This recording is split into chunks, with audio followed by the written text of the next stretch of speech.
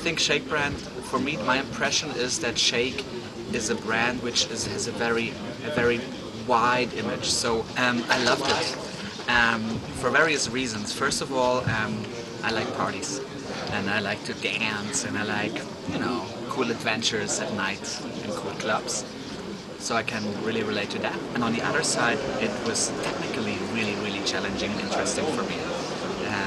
Always wanted to do like a time slice commercial uh, or a story where time stops and to tell a story of a crazy, wild, beautiful woman partying wild in a nightclub, but with a stopped in a stopped time situation was um, yeah very attractive. That is a brand which is um, you know playing with the idea of, of partying and glam.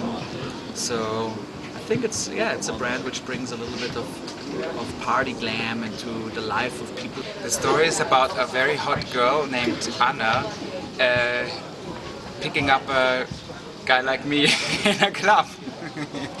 and uh, yeah, she actually um, um, tears me out of, uh, no, how do you say that? She rips me out of the arms of my girlfriend and she brings, uh, and I fall immediately in love with her because she's very hot and sexy. Well, shake is, is the special drink here. Shake is, is, is what, what makes your dreams come true when you, when you drink it.